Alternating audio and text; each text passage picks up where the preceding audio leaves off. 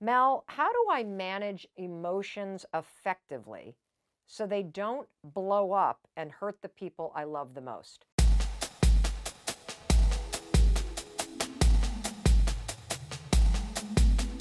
Melan, maybe it's just people that have the name Mel, but I hear you, sister. I get triggered all the time by um, my emotions. And here's how you deal with them. In fact, the place that I get the most triggered is getting frustrated with my kids. And I don't want to be that kind of mom. I don't want to be the kind of mom that's constantly frazzled, that's snapping at my kids, that resents my, my husband. I really want to have the best of me reserved for my family. But isn't it the truth that often it's the people that we love the most that we end up trashing on all the time? So here's how you're going to manage your emotions. Number one, you cannot control the shit that's happening around you.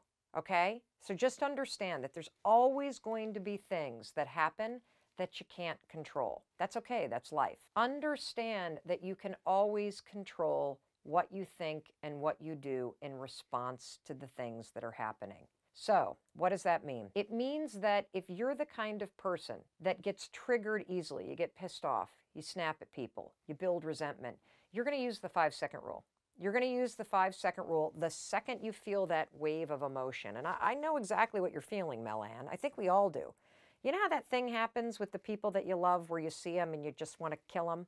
It happens to me too, and it happens to the people who love me. It's normal to have frustrations rise up but it's a choice to let those emotions make you snap. So what you're going to do the next time you feel your emotions rise up is you're going to count backwards using the five second rule. You're going to go five, four, three, two, one. The second you hit one, your prefrontal cortex should be engaged because we're drawing the focus away from the interior part of your brain and we are awakening your prefrontal cortex. You now have control. You have the ability to choose what you do next. I use this technique, this technique to manage my response to the emotional triggers all the time with my kids. When normally in the past, something that they did would make me really upset and I would snap, I now silently count five, four, three, two, one, and that alone allows me to collect myself, adjust my tone of voice, and speak in a way that actually is consistent with the kind of parent that I want to be.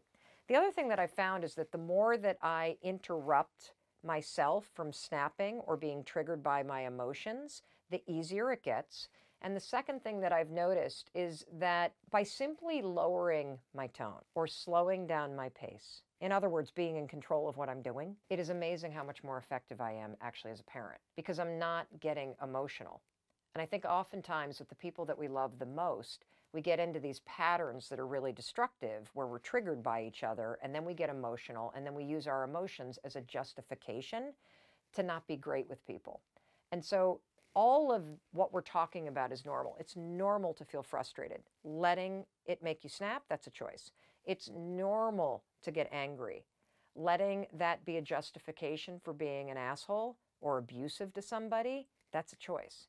And it's a choice you don't have to make when you start to five, four, three, two, one, manage yourself in response to the things that are triggering you.